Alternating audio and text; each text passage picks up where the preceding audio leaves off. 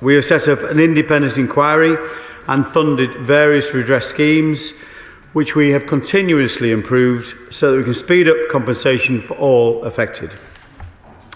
This work has been taking place for many months and long before ITV aired the excellent programme Mr Bates versus the Post Office. That includes our announcement last autumn of the optional £600,000 fixed sum award for those who have been wrongfully convicted. We continue to develop our response to this scandal, and on Thursday I made a written statement detailing the way in which we plan to legislate to overturn Horizon-related convictions en masse. We expect to introduce that legislation as soon as possible next month. My statement set out that the new legislation will quash all convictions which are identified as being in scope using clear and objective criteria on the face of the bill.